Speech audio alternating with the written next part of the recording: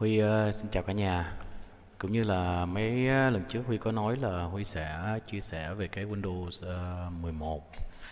Windows uh, trong còn cái thời gian uh, thí nghiệm và thử cho nên uh, nó cũng chưa có ra thị trường. Nhưng mà mình muốn uh, muốn thử trước là tại vì uh, coi coi cái Windows này nó có support những cái uh, sound card Live Stream hay là những cái apps, những cái software mà mình thường xài cho Windows 10 hay là Windows 7 hay không. Um, Huy vừa cài xong cái tài khoản một tiếng nhưng mà trong cái thời gian này thì à, Huy cũng đã thử những cái chương trình mà Huy thường xài giống như là chương trình à, uh, livestream uh, ờ, mình thấy nó rất là ổn nó rất là ổn nó vẫn xài được hết tất cả bình thường cho nên cái vấn đề uh, sound card cũng không uh, không có bị lỗi hay bị trục trặc gì về uh, driver. Đây là cái giao diện của cái Windows. Cũng tại vì uh, màn hình Huy quá to cho nên uh, cái video này Huy cũng làm 4K um, cho cái phone có thể là nó hơi nhỏ để mà nhìn ra được nhận ra được. Cho nên nếu mà các bạn xài full screen để mà xem cái video này thì nó sẽ hay hơn là các bạn uh, uh, coi bằng cái uh, Windows nhỏ trên cái điện thoại tốt nhất là mở full screen ra để mà xem. Mới uh, nhìn thấy rõ được. Ok. Uhm, như các bạn ở đây cũng thấy mình đánh vào uh, system để mà xem thử là Windows gì. Ok.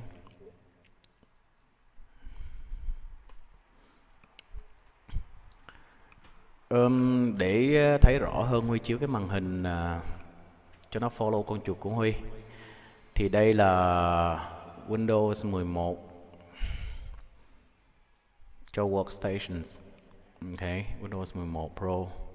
Đây là cấu hình của máy của mình information của máy. Ok um, yeah. Tới đây thì uh, Huy chưa cài Office 21 để mà thử.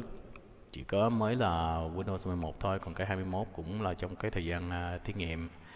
Một lát nữa Huy cũng sẽ cài đặt nhưng mà những cái chương trình đó thì uh, thường là cho những người xài uh, những công việc cho văn phòng đánh đơn từ này nọ thôi. Còn cái quan trọng hiện tại bây giờ là bà con muốn nghe được cái âm thanh.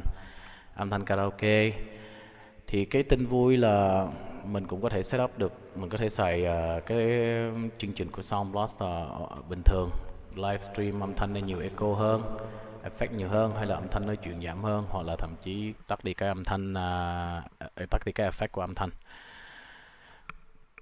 cái này là cái mà quan trọng nhất mà mình xài cũng giống như là lúc mà mình mở nhạc nghe nó có ok hay không.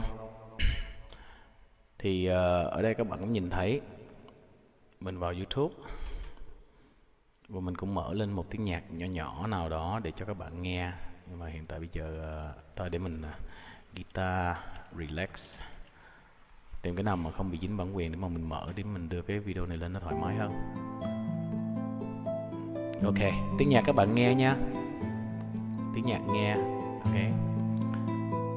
Có nghĩa là những gì mà các bạn đang nghe được là nghe trực tiếp hết. Trực tiếp uh, từ uh, từ microphone cho tới nhạc tất cả đều trực tiếp từ cái computer hết. Um, thôi trở lại cái giao diện của nó. Mình uh, bây giờ mình làm một bên là nó follow con chuột và một bên uh, nhìn cái giao diện của cái Windows cái này là mình uh, nhìn thấy full. Còn cái chương trình Manicam này là cái mà mình đang thu hình. Uh, mình đang thu hình bằng uh, chất lượng 4K ok đang thu hình bằng chất lượng 4K um, cái start của nó không còn nằm bên uh, bên phải bên trái nữa. Nó không còn nằm bên trái. Còn bên phải thì nó vẫn uh, như cũ. Nó vẫn như cũ. Có cái là bây giờ cái start với lại cái uh, taskbar nó nằm ở giữa. Thì trong này có cái settings như các bạn cũng đang nhìn thấy. Rồi ờ, ở đây có những cái chương trình mà mình thường xài ví dụ như Google Chrome. Thì mình uh, cho nó ở dưới mình pin nó ở dưới cho nó nằm ở đây để mình uh, có thể mở nhanh hơn và tìm kiếm nhanh hơn. Um, còn trong cái start bar của nó là nó có những cái chương trình ví dụ mà mình thường xài thì mình có thể pin nó vào đây.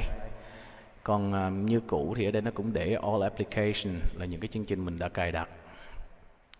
Ok những chương trình mình đã cài đặt thì nó cũng nằm trong này trong start um, ở đây nút back còn ở chỗ này là những cái mà uh, history giống như cái nào mà mình vừa cài đặt hay là mình uh, xài thường xuyên thì nó sẽ nhảy trong này.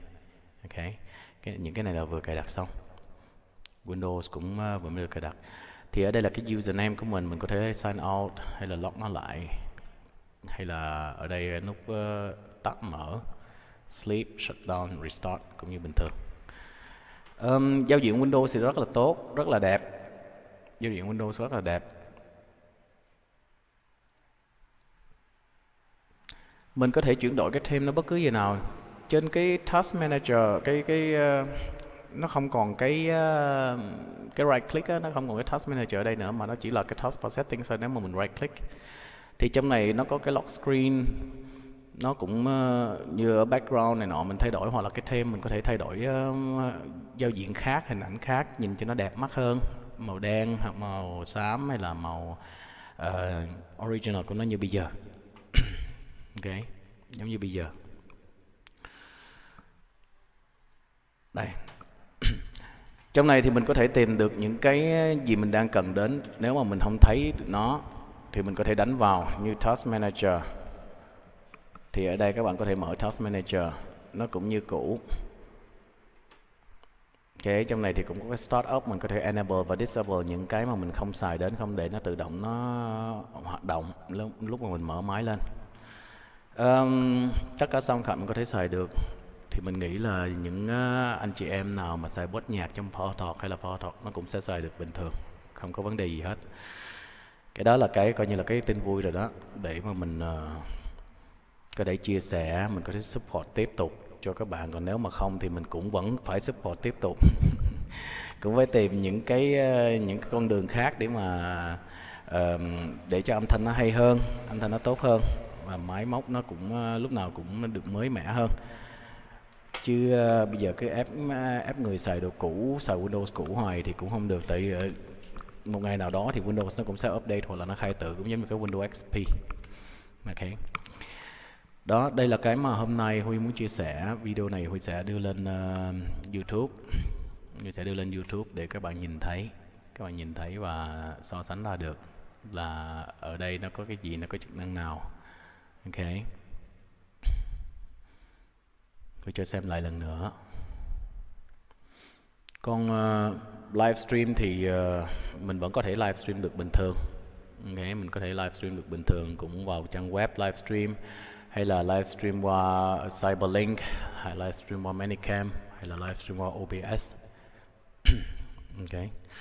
Ok video này uh, Huy xin ngừng tại vì uh, mình thử vậy là đủ rồi. Mình uh, rất là vui để mà được chia sẻ với tất cả mọi người ở đây là cái tin thật sự mà nói là tin vui là cho dù xài Windows mới tất cả mọi người vẫn có thể xài tiếp những cái sound card mà như Huy thường giới thiệu là Sound Blaster ODG của hãng Creative.